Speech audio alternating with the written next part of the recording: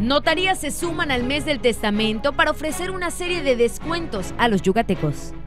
Y están todos los notarios de Yucatán para apoyar, para ayudar y eh, pues es un cobro mucho eh, más económico que en cualquier otro mes. Sociedad civil organizada y autoridades unirán fuerzas para hacer la diferencia con las personas con discapacidad.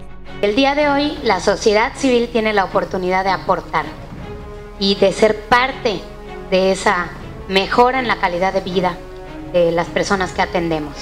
Mauricio Vila hace un llamado a dependencias federales y estatales para hacer mejoras al centro histórico. Hemos convocado una mesa de trabajo donde hay, eh, por supuesto, autoridades municipales, estatales, autoridades federales, la sociedad civil, empresas privadas. Eh, por ejemplo, tenemos a la Comisión Federal, tenemos a Telmex, tenemos a Japay, tenemos al Patronato del Centro Histórico, a la Cámara de Comercio, a la CETUR, a la Asociación Mexicana de Hoteles.